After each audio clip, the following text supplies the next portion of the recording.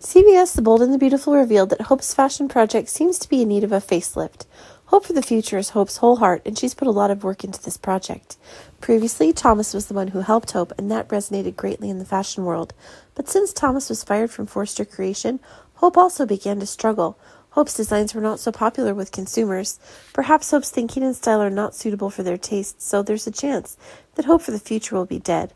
Although Hope worked very hard and put a lot of effort into this project, she had to learn to accept the fact that it was taking a toll on the company. But if the company wants to operate well, it can't keep the products that are not profitable, but on the contrary, cause losses. What will Hope have to do? How will she change the, to be allowed to keep by the company? Time flies, and it's just that Carter has worked for Forrester Creation for 10 years. This is a special event for Carter as well as the members of the company. Forrester Creation is a big fashion company, so that means a lot of legal issues to deal with. Carter's always done his job well, and 10 years on, the company still hasn't had any legal troubles. Carter's given the company so much, and everyone's grateful for it.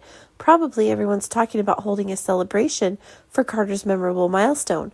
Carter deserves the best for his dedication, but a big question was also raised for Carter, which is whether he wants to stay with the company or not. Ten years is not a short period of time. Does Carter have any other plans? Carter's attachment to the company is something that cannot be changed. Although Carter's work is not related to the fashion industry, his role for the company is extremely important. Carter lives happily and gets along well with those around him. To them, Carter's not only an employee but also a close friend. Carter's dedication is also recognized by everyone. But what about Carter's thoughts? He appreciates the love people give him, but sometimes he will want a different environment to develop himself more. Perhaps Carter's thinking about leaving Forrester Creation after working here for 10 years.